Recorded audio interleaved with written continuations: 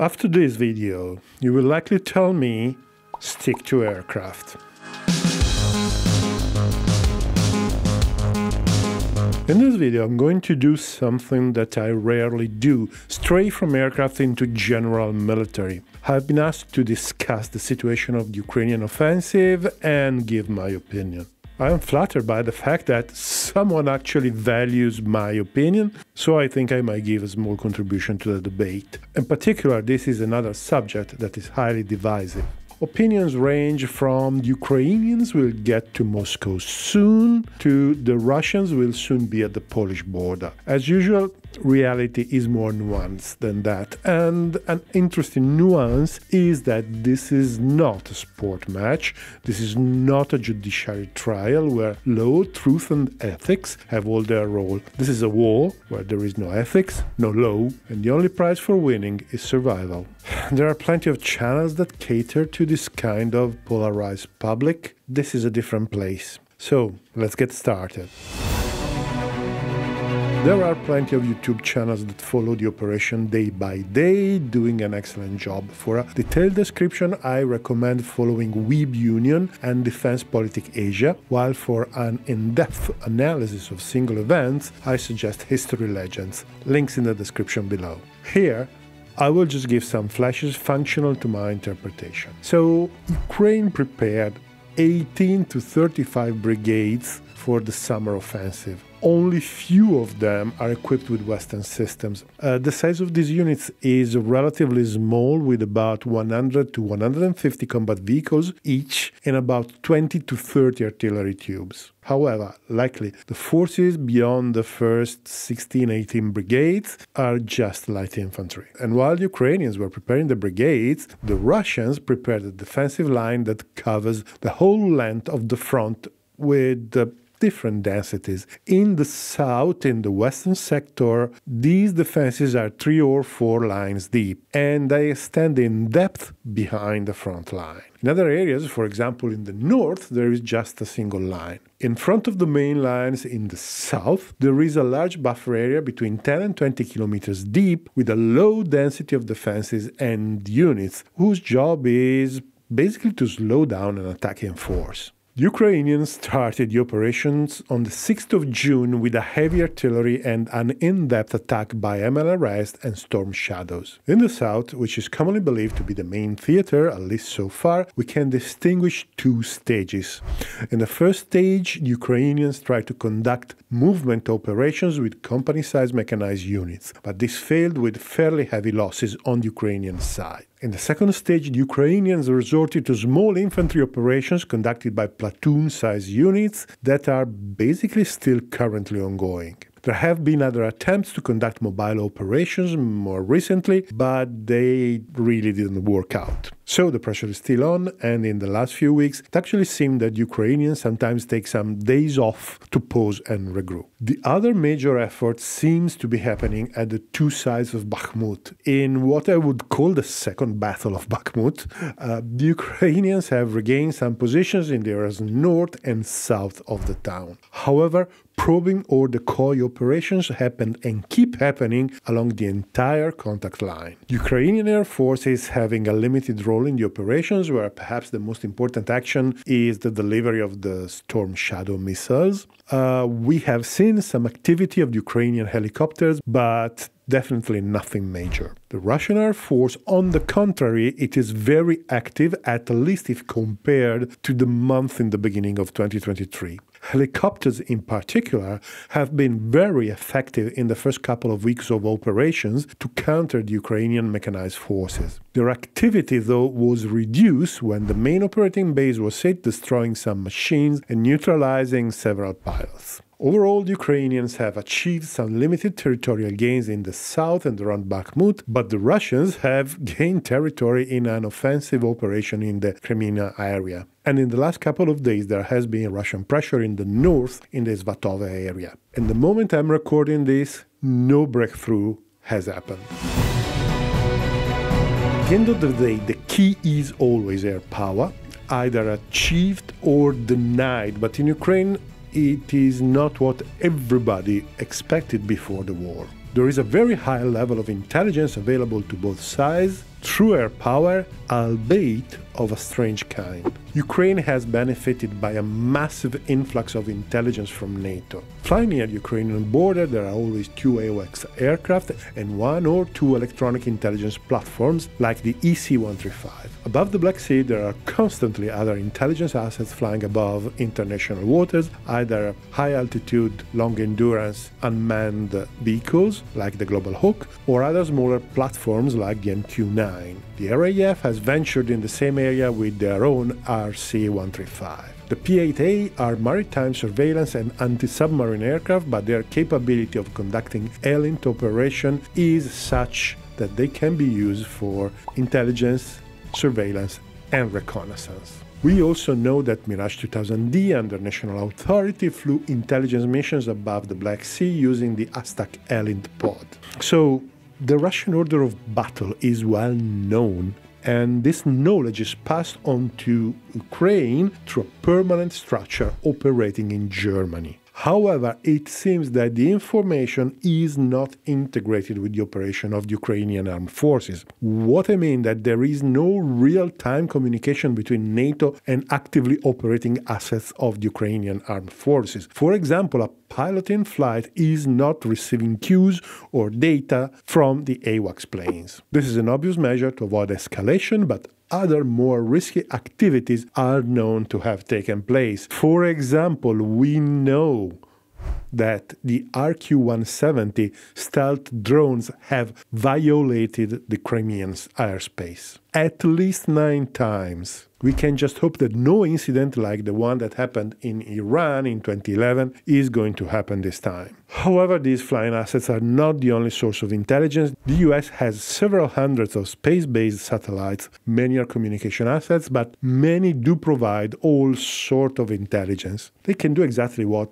endo-atmospheric systems do. They do electronic intelligence, signal intelligence, radar reconnaissance, and so on. Moreover, they do imagery with a resolution of 10 to 20 centimeters, invisible light, or infrared, or who knows what else. This is more than enough to map trenches and count every single Russian asset in the area of operations. Even more important is the capability to use artificial intelligence to analyze the information acquired. This is something that the military intelligence has been studying well before then commercial applications started popping up 10 or 15 years ago. In the time of film or before artificial intelligence, a human had to carefully watch every image and extract the information. Now, algorithms can do that. They can simply identify what is changed or classify the vehicles in a parking lot. The decision maker receives only the relevant information without the noise of hundreds of perfectly normal forests, lakes, deserts, prairies, and town images. Don't get the impression that nothing could be hidden because it's not true. The strip covered by the satellite is relatively narrow, and orbital mechanics can't ensure that the satellite will be above the area of interest exactly when it is needed. Satellite orbits are designed to keep the most interesting areas of the globe under surveillance at the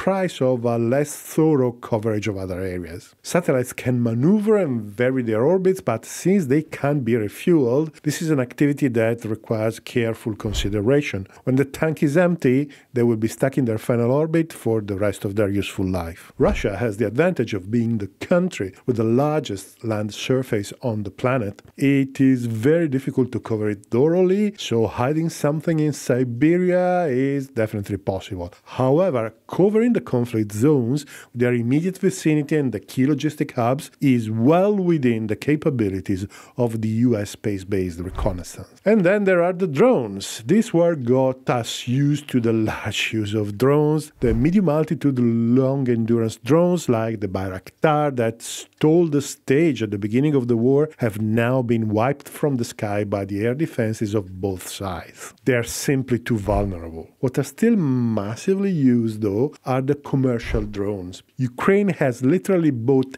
everything that was available on the commercial market. I was told by a source that a realistic estimate is from 50,000 to 70,000 commercial drones acquired only for the summer offensive because they were acquiring even before, obviously. They need so many because these systems are quite short lived. Some are turned into suicidal drones, so by definition, they don't survive the mission. But those that are used for observation and reconnaissance have an average life of only six missions because the Russian electronic warfare is dense and capable, and they have basically no defense against it. The key element, in my opinion, is that they are available to almost any small unit being employed on the ground. The level of situational awareness that they can contribute is basically unprecedented in history. So far, we have talked about Ukraine, but what about the Russians? Well, it is basically the same thing, word for word, just to a lesser degree. They do have exactly the same category of systems, there are just fewer of them, and some also have inferior capabilities. So there are fewer electronic intelligence aircraft, there are fewer AWACS, there are fewer satellites, and so on. There are two differences, though, that partially compensate this lesser degree. The Russians have a very large ground based and helicopter based electronic warfare and electronic intelligence capability. These kind of capabilities are not so common in NATO service and even less in Ukraine. They are either organic to Russian large units or they are organized in entire autonomous electronic warfare brigades. These assets are largely unknown in the West, at least to the general public and let's say the less focused analysts, but there are dozens, literally dozens of types, each one with a specific function. And they have proven their effectiveness in Ukraine several times. The most notable element is the GPS jamming and spoofing capability that is compromising the effectiveness of basically anything GPS guided. The other is the capability of downing drones of any type and the commercial drones in particular. Personally, find the Russian approach to electronic warfare fascinating, and maybe we will cover it in the future, even though, well, it's not aircraft. The other important difference is the use of military light surveillance drones. The Russian medium altitude long endurance systems, the ones more on the light side, kept flying, albeit with some difficulties. The most interesting example is the Orlan. It's just a small toy plane with a gimbal camera. In reality, it has allowed for very fast kill chains with the Russian artillery. Uh, there are two versions often used together. One version is a reconnaissance vehicle and a communication relay, and then there is a slightly bigger variant with a laser designator for precision fire. It is used to identify Ukrainian moving targets and quickly react, directing guided munitions on them, like the Krasnopol round, which seems to be available in large quantities. These small drones have proven to be difficult to detect and attack because, well, they are small enough and fly high enough not to be easily visible with optical systems, and they have a very small radar cross section having, well, few metal parts. They have been hit and they have been downed, of course, but they turned out to be quite survivable. Now, why I am telling you all of this? Because in Ukraine we are seeing something unprecedented. The battlefield is transparent. Both sides have enough intelligence to know everything there is to know about the enemy. Anything moving in a depth of, say, 20 kilometers from the contact line is detected, and if possible, it is attacked. The Russians have less intelligence at hand than the Ukrainians, but they have enough to understand what is going on very clearly. You must also remember that this is a war where a lot of information is publicly available, much more than any other war in the past. I mean, there is enough information out there for an OSINT organization to produce maps with relatively accurate orders of battle. If civilians can do this, I let you imagine what military intelligence could do with access to all the assets we discussed above. The consequence is that tactical surprise is no longer possible. Manuals say that a competent commander should be able to achieve tactical surprise in most situations. This is no longer true. You can't, for example, attack frontally a position to fix the forces and send a unit around to attack from the flanks or from the back the unit going around will be spotted and the enemy will react. So you may say, if surprise is not possible, what about speed? And that is what Ukrainians tried to do in the first few days of operations. We heard times and again how the Ukrainians should operate more according to NATO doctrine, practicing a war of movement. Well, they tried.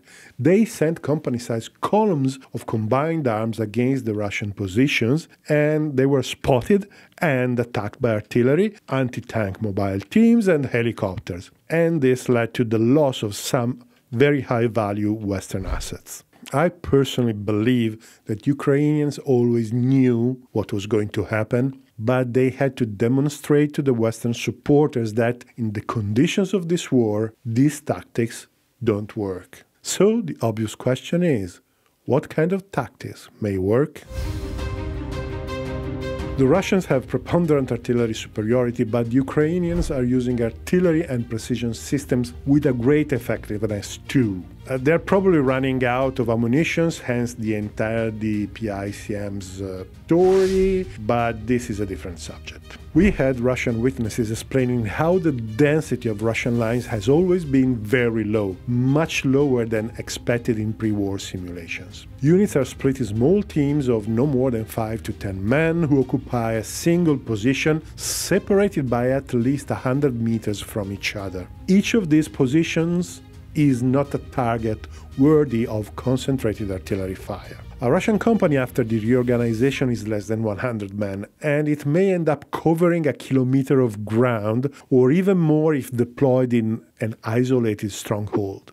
Well, in the First World War, you could almost fit a division in a kilometer of frontage. Another consequence is that the risk of staying out in the open is very high. Every time it is materially possible, a unit must dig in or seek some form of coverage. And in fact, the only areas where some concentrations are possible are those where some coverage already exists, that is, urbanized areas and wooded areas. The latter more in spring and summer than in autumn and winter for, well, obvious reasons. In these areas, collecting intelligence is somewhat more difficult, simplifying the job of the units in there. Many planners watch the Ukrainian theater mostly flat with relatively few natural obstacles, and they see a territory ideal for armored forces, very difficult to defend because the defender has nothing to hide behind. This is no longer true. This is World War II stuff. The combination of pervasive intelligence and firepower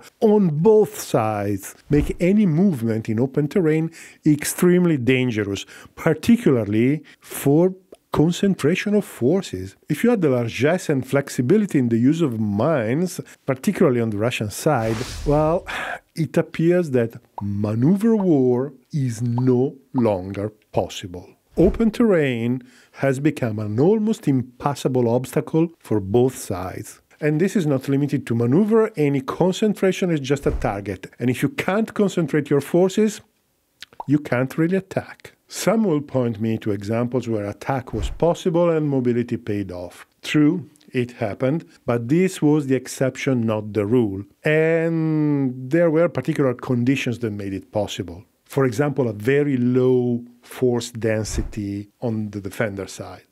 So, what is the solution then? Well, there is one, and we have seen it work since the so called Popasna breakthrough and during the so called Russian winter offensive that included the first Battle of Bakhmut. Small infantry teams advance in areas where cover is available, tree lines, woods, and developed land, with a massive fire support to suppress and possibly destroy the defensive strongholds before the attack. If the attack is successful, the attacking force is joined by engineers digging defensive positions and sappers clearing the area from mines and other explosives. Tanks and other infantry vehicles are used only for transport and fire support from a distance. And the result of a successful attack is an advance of a few hundred meters or the conquest of a small group of houses. A slow, grinding progress at best. And it is a very costly progress too because losses are high on both sides. This is the textbook definition of a meat grinder. You also understand that since the advance can only be slow and methodical, the possibility of a real breakthrough where the attacking force finds itself with no more defenders in front and could penetrate deep into enemy territory, well, is almost non existent. There's always time for the defender to move some reserves in the area and restart the process. In all of the above, is explaining what we have seen so far in this war the high losses, the small movements of the front line, uh, the artillery war, and so on. So, how is the Ukrainian summer offensive developing in the light of these considerations? So, well, this is the part where quite uncomfortably I make my best impression of an armchair general and try to interpret what is happening. In the first week, the Ukrainians tried to break through the Russian defenses and failed with heavy losses among the units involved. Some say there was just a series of probing attacks, but I don't think so. They were well aware of how the Russians' defensive positions were set up. These attacks were supposed to roll over the advanced Russian defenses in the buffer zone and make contact with the main defensive lines in a matter of days. The decisive element that makes me think so is that they have been using some of the high value Western assets they were given just for this task. What both cursed and partially saved them was the attempt to go through the minefields. Since the number of the mining systems is limited, they couldn't deploy entire battalions in combat formations, but they had to resort to company sized columns moving behind the demining systems or the narrow demine corridors. When at first they were pounded by the Russian artillery and by anti tank missiles, well, they stopped. In this way, only some elements of the advance's forces suffered heavy losses. To those who say that we know of just a couple of cases where this happened, I reply that statistically, for each specific case we know of, for each vehicle we see destroyed, there are many more that we don't see. One thing is keeping track of the social media posts to identify where the units are, an entirely different thing is tracing each and every movement on the battlefield. This is something that the two opposing militaries can do, but we as civilians can't. And the ones you don't see, well, depend on the side you are taking your news from. I tend to take the OSINT organizations that produce lists of lost assets with a boulder of salt, since I believe that there are good reasons to doubt of their impartiality, but this is just me. I don't expect you to agree. So, very reasonably, Ukrainians changed tact and resorted to the tactics we have described before, which brought some success. As I record this, the deepest penetration from the beginning of the offensive in the south is around 6 to 8 kilometers, so nothing particularly exciting. Moreover, we have seen that sometimes they still try some small mechanized operations, but, well, nothing major. Paradoxically, in the area around Bakhmut and other areas of the contact line, where Ukrainians did not try a mechanized operation, but they started with the tried and tested tactics, the progress has been slow but steady. In the last two or three weeks, it seems that Ukrainians are also focusing on reducing the Russian overwhelming artillery superiority with counter battery operations and precision guided weapons like guided artillery rounds or rockets. And it seems that they are obtaining some successes if we have to trust the words of the just sacked Russian general Ivan Popov. However, considering the disparity of the two artillery forces, is definitely an uphill battle for the Ukrainians. So, is the offensive succeeding?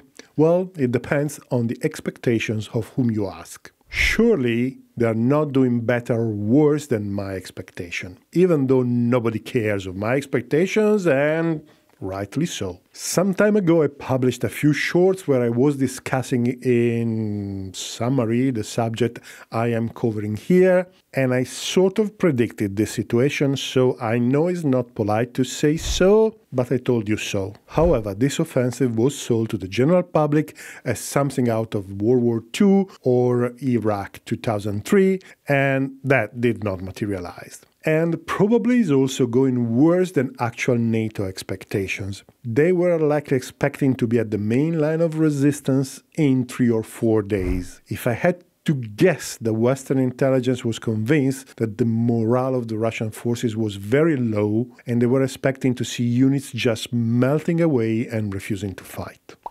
This, of course, did not happen. On the contrary, maybe for the first time since the beginning of the war, we have seen Ukrainian units surrendering or refusing to attack. It is not a large scale phenomenon by any means, but it is happening sometimes. So, if we look at the general picture in the south, Ukrainians in a month and a half just managed to barely dent the Russian buffer zone.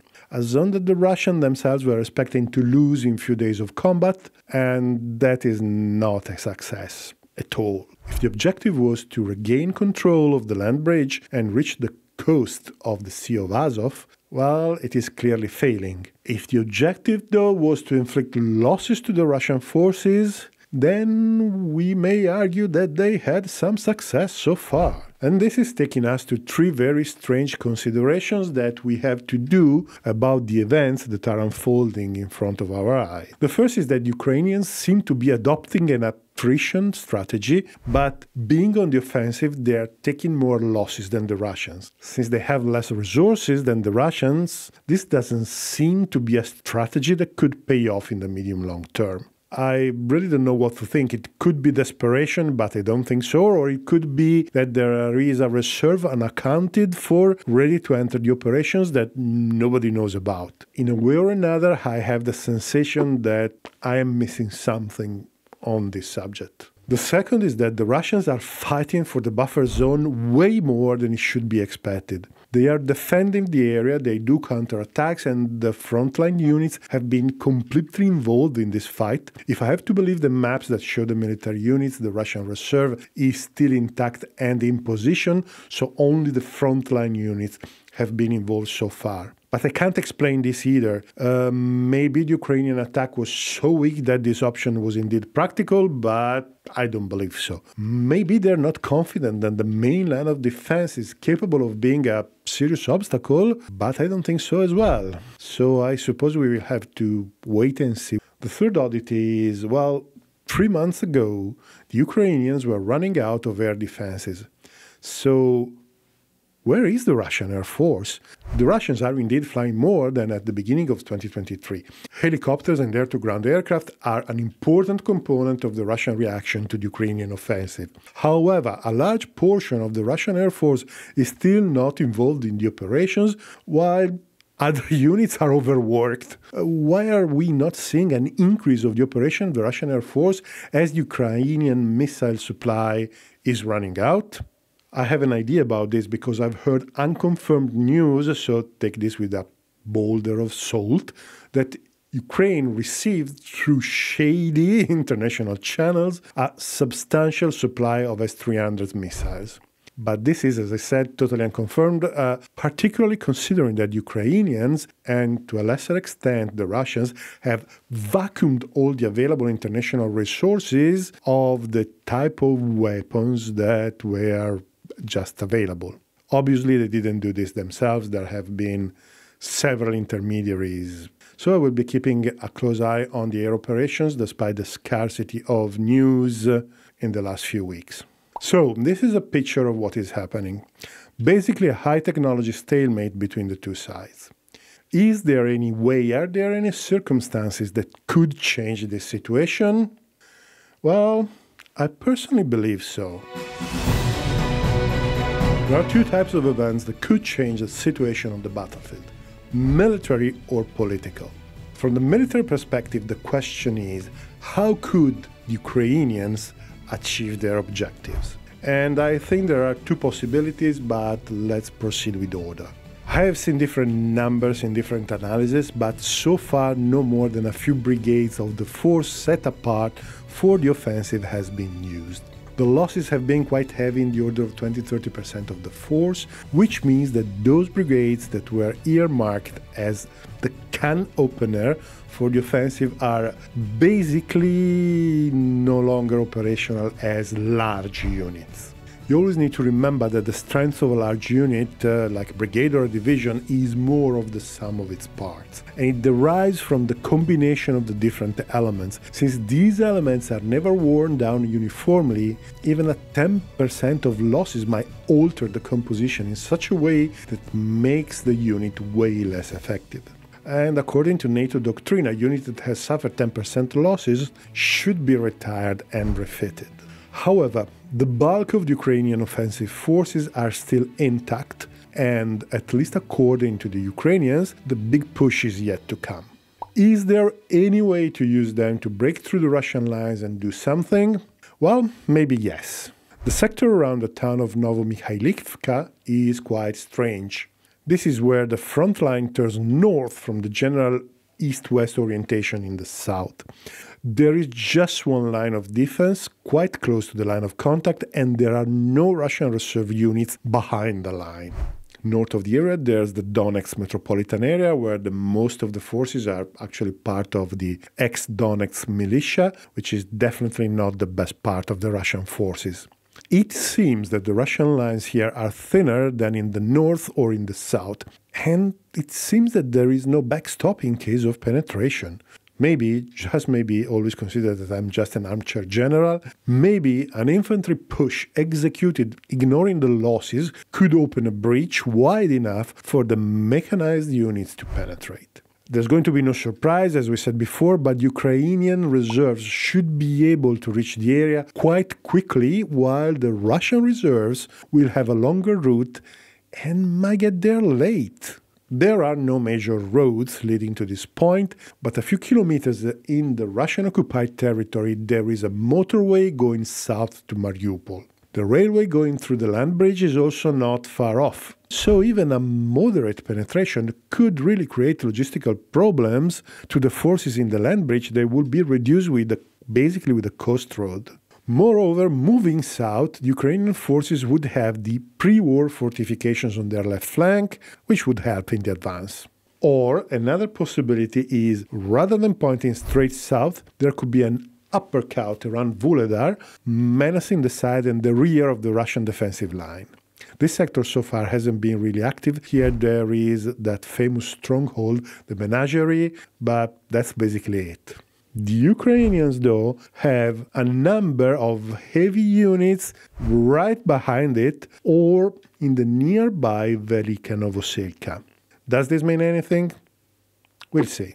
With this option, it's also possible that since the Ukrainians have received some little known amphibious capabilities, that a diversionary attack may happen across the Dnieper River, exactly at the opposite end of the front line and this may cause a really bad headache to the Russian reserves. So it seems a possibility to me. Well, what do you think? Let me know in the comments below. Anyhow, in the same way I noticed it, the Russians probably noticed it as well. So there's probably something else going on that I don't know, and we'll see. But this is not everything. I personally see another possibility that is even more interesting. So, behind the Northern Front, which, by the way, in the last couple of days is actually moving a little bit, there is a large Russian heavy force that has been there for months uh, since the end of the Ukrainian offensive, doing basically nothing or better, they have been re equipped and they have been training. Uh, what are they going to do? Well, nobody knows. Uh, they look like a theater reserve to me, and sooner or later it will be used. We also know that they are being used as a training ground for mobilized units, but the same units are also receiving all the most modern equipment. So, this is a potential threat and makes the Northern Front a bad candidate for an offensive. But what if Ukrainian tried a quick attack beyond the Russian border toward Belgorod. The Russian border is not as heavily defended as the front line in Ukraine, and Belgorod is just 20 kilometers inside Russia, and it is an extremely important logistic hub for the entire northern front. The Russians must protect it, and it would be assured that these reserves will be moved to counter the attack. And once the reserves have moved, the northern front becomes vulnerable, and a second attack in the area of Svatove could penetrate very deep potentially, maybe moving the front line back of another 50 to 100 kilometers and undoing the conquest of a large part of the Lugansk Oblast. Okay, okay, okay, I'm well aware of the political consequences that such an operation may have, but I can't stop thinking that threatening one of the major enemy's logistic hubs is the move that makes more sense. Uh, the Ukrainians have shown a constant willingness to bend the rules and limitations imposed by US and NATO, and I suppose that when you are desperate for survival, nothing else matters. Anyway, the same applies. I believe that the Russians have thought about this possibility too. And yeah, let's wait and see. So, these are the two military options that I see the Ukrainians may have to conclude this offensive with a success. However, I don't think that any of them has a high probability of being successful. They may be, but it's difficult. And the reason I think so is quite simple. These units that Ukraine has prepared for the offensive are probably the last units available. The Ukrainian population is now depleted. The losses are high. 12 million of Ukrainians are abroad, and there are press gangs in the street forcing people in the army. Then there are not much more assets that the West could give. Maybe if we wait a couple of years, the Western industrial production will catch up, but governments change. The popular sentiment in the West is not as compact as the governments are in supporting Ukraine, and the new governments may reflect this attitude. If Ukrainians burn all of these forces in an offensive, then there will be little else remaining. The Russian reserves will keep growing, and then it will be the Russian turn. I think that Ukrainians would be better off trying the offensive, but saving a good proportion of their most modern systems and best trained forces to form a strategic reserve in being, like a fleet in being, just to hold a position till something else happens. And this brings us to the possible political events that could cause a successful Ukrainian offensive. Sure, the most effective but least likely would be a Russian change of regime. This seemed to have happened a few weeks ago, but it turned out to be an enormous farce that actually left Putin stronger than before. I know that many will not share this opinion, but this video is already very long, so I won't go in any more detail. The other possibility is the intervention of some of the Eastern European countries in the war under national authority. While two or three Polish divisions could do wonders for the offensive, I am not sure that the Russians will appreciate the difference between NATO and national authority. I suspect that in this case we will have the answer of some of the questions that we have, or at least I have. I think that we will learn very quickly where the Russian Air Force is. we will learn how many cruise and ballistic missiles are remaining in the Russian availability. And spoiler alert, I believe that the Russians stopped firing cruise and ballistic missiles just short of the number necessary for a massive attack on European airfields. I may be wrong, but I hope I will never be proven right.